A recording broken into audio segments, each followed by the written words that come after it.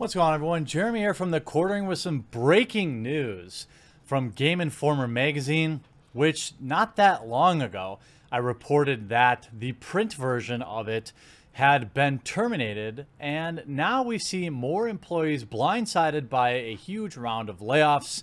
And I want to remind everyone, as a small test for this week, I'm asking everyone just to remember to like and if you can, leave a comment and maybe consider uh, putting the videos out on Twitter, Facebook, Minds, whatever you use.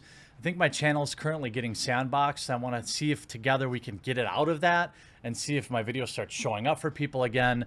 But, uh, and I really would appreciate it. I know I always ask, but um, it's really appreciated, and I'm curious to see if this helps anything. Now, Game Informer magazine has long produced articles that I would have definitely roasted video articles like video games should embrace politics and all sorts of other insane things but that's neither here nor there you read this article a common sentiment seen through the gaming community is that politics are unwanted in games this view is held so strongly by some it is embodied, embodied by radical movements like Gamergate. Their argument is that the real world is share of grievances and antagonism over politics, so why should our entertainment? A prime tool for escapism, also feature these views? The answer is simple. Politics don't only matter, but they also make for better games and better stories. No, I disagree with you. But now, as several Game Informer former employees in this story, I, I should remind you, is developing. Uh, several Game Informer people have now started tweeting about being let go from the company. Uh, if you remember, David Milner uh, is talking about Game Informer Australia being shuttered. I have some news. Today is my last day as editor of Game Informer Australia. This was not my decision. The owner of the magazine, EB Games, is making cuts because global parent company GameStop recently failed to find a buyer after months on the market. Their share prices have suffered. This is a result. For the record, Game Informer Australia still sold well. Readership was up 19% over the last year. Recent ad sales, however, did not really reflect this. Well, here's the thing. Uh, it is my opinion, my theory, that the reason that so many of these legacy video game media websites, sites like even like Kotaku, Polygon, uh, we've seen uh, Waypoint, the Vice video game media outlet, Shutter recently. The reason so many of these game journalists seem so antagonistic towards the YouTube community is because we're taking all of their advertisers because, well, we have all the credibility. The American version of the magazine will still be sold here instead. It is a great magazine filled with the work of fantastic quote unquote journalists, and I urge people to continue supporting it. The decision has nothing to do with the US Game Informer team, blah, blah, blah, blah, blah. Now, as of today, Game Informer layoff many staff. Now, former employees break the news about the cuts GameStop owned magazine. Game Informer has undergone a round of layoffs, according to a handful of now former employees West Coast News Editor Imran Khan, Senior Associate Editor Kyle Hilliard, and Associate Editor Suriel Vazquez all posted on Twitter that they have been let go. Another laid off employee posted on private social media accounts saying they had lost their job, along with, quote, many others. As of writing this, Game Informer and parent company GameStop have not responded to requests for comment about the number of employees let go. The website's staff lists 19 people but has not been updated to reflect all of today's lawsuits, uh, layoffs. By the way, if you were a former Game Informer journalist and your Twitter isn't full of Orange Man Bad, I would be happy to employ you with exclusivelygames.com. Feel free to write writers at exclusivelygames.com. I'd be happy to have you. While GameStop has struggled in recent years, Game Informer has continued to be a mainstay in the gaming press. As of 2018, it boasted a circulation of 6.6 million paid subscribers, including 2.1 million paid digital subscribers. This is a huge amount of money. Uh, could I could I imagine having a million paid subscribers? That's that's insanity. Enough to bill itself as the fifth largest consumer publication in the United States.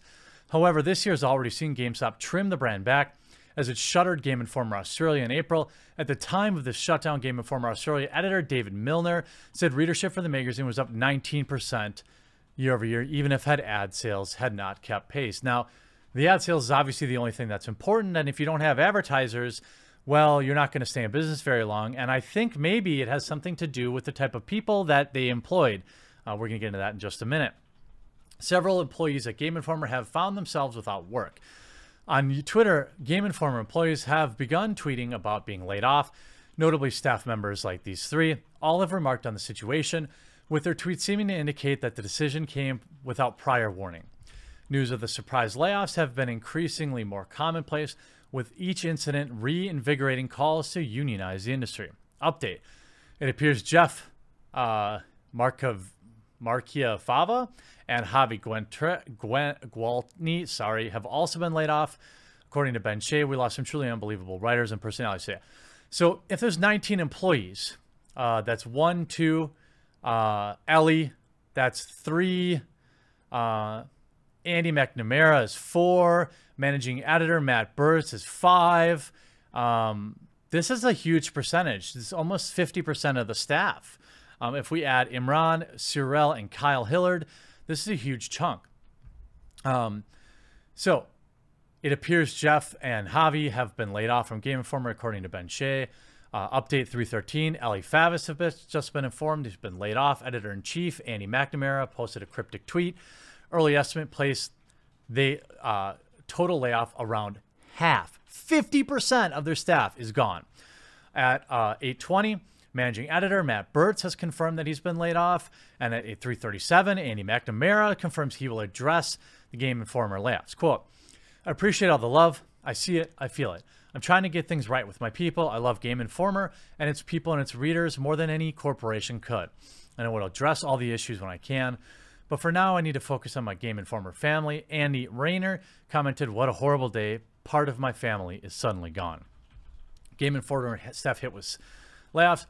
The decision to cut members appears to be GameStop one rather than one made internally at Game Informer, though this remains speculative until the official statement is made, given how many gamers have expressed their discontent over firing Imran, Suriel, Kyle, Jeff, Javy, Alice, and Matt. It'd make more sense the decision was part of GameStop's continued efforts to keep their heads above water, rather than Game Informer deciding to eliminate valued staff. Here's the thing, though. Here's the thing, though. Uh, you don't lay off often um, employees if you're making enough money or if you're making good money. That said, Game Informer did tweet out about unpaid editorial internships opportunities a few weeks ago, which isn't exactly a good look in the light of these layoffs. The fall of internship dates, uh, the fall internship, internship internship days at Game Informer listed September 11th through December 13th. Unpaid interns. PSA, today is the last day to apply for Game Informer's fall editorial entertainmentship. How do y'all feel about aging hipsters with no agree, degree? Oh boy, what a thrilling opportunity to work 30 hours a week for no pay. So you're you're replacing them with unpaid interns as it would look. Earlier this month, GameStop laid off 50 of their field leaders, including regional district, HR, and LP loss prevention, that is. According to an article from Game Daily, despite these efforts to reduce costs, GameStop share prices continue to drop. $3.38 as of August 20th, with many predicting the company could go under or be bought out sooner rather than later. In that instance, it's unclear what would happen to Game Informer as they are a subsidiary of GameStop. Now, here's the here's the um, thing I'm going to watch.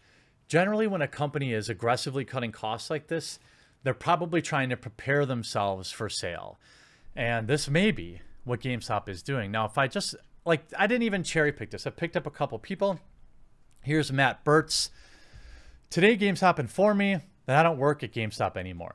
I was very proud to manage and work alongside the incredible team editors, designers, writers, podcasters, programmers, videographers, and gamers. They always be family to me. Well, let's see if you qualify to work for exclusively games. Um, looks like I see you tweeting mostly about video games. This is a good sign. Matt Bertz, as far as I can see, would be a good candidate for exclusively games. How about Elsie? I was laid off today, and today is my last day at Game Informer, along with a handful of colleagues. I'm heartbroken. I loved work so much, but if you know anyone that's hiring, give me a heads up. Thanks to everyone who had read my words. Okay, well, exclusively games is interested. Let's see. Oops, retweeting Alexandria Ocasio Cortez. That's probably not a good sign. Cats on the tweet. That's okay. Hmm. Retweeting, despite all the progress that Riot has made since last year's expose, the arbitration policy, even after walking back some of it, really stinks. Walking out is the least appropriate. You're supporting that. I stand by my reporting on this. If you say that your game doesn't have microtransaction when it really does, that's misleading information. Um, well, okay, there's some possibility there. Um, let's see. Jeff uh, says, while I'm on effing vacation, meaning he got terminated while he's on vacation. Well, let's see if he's a good opportunity. Oh, his most recent tweet says, Our president is a vile R and he's going to get my Congress. Oh, geez. Okay, well, I don't think you're going to make it since you have TDS clearly. Um, Kyle Hilliard, I was laid off from Game Informer this morning, which was surprising and heartbreaking. Writing for the magazine gave me some of the best experiences of my life. I absolutely adore everyone I worked with. Let's see. Um, you know, it seems like there might be some good opportunities here. I see their Twitter feeds are full with actual articles about video games. This is probably a good thing. Uh, video games and movies and not um, TDS, well, with the exception of that one person. But certainly, Game Informer has uh, made their kind of um, bed, so to speak. Here's Imran, former senior editor at Game Informer. He, him, pronouns in the bio, not a good sign. Um, talking about unionizing your workplace. I just booked a flight to PAX, partially out of spite, but also because I'm on a few panels and I want to back out. Um, you know, okay. Um, you know, it seems like they have a lot of blue check marks that work there. Uh, probably not going to have a problem finding work in today's modern day games industry. But laying off 50% of their staff is not a good sign and just a further progression, I think, of how legacy games media is continuing to collapse in and of itself. And partially, I believe, is because many of the articles at places like Game Informer and Waypoint and all these other outlets that have closed in the past, they spent a lot of time uh, worrying about dividing their their viewers and instead of uh, you know working for the actual viewer, uh, audience. You know, you see this website full of actual good video game articles. Uh, I guess it's kind of sad to see. Then again, it's just another legacy media outlet that was likely to uh, write another hit piece about YouTubers or myself in particular.